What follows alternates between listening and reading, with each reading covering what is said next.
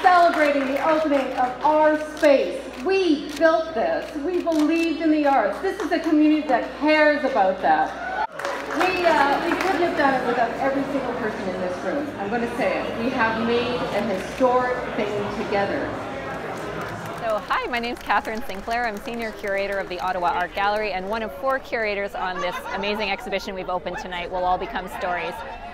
Really happy to have everybody here to celebrate this moment. I think we're all trying to take a breath and understand the, the magnitude of what's happening here. It's, it's an incredible building. Um, we just finished the beautiful, beautiful exhibition that I hope everybody comes to see.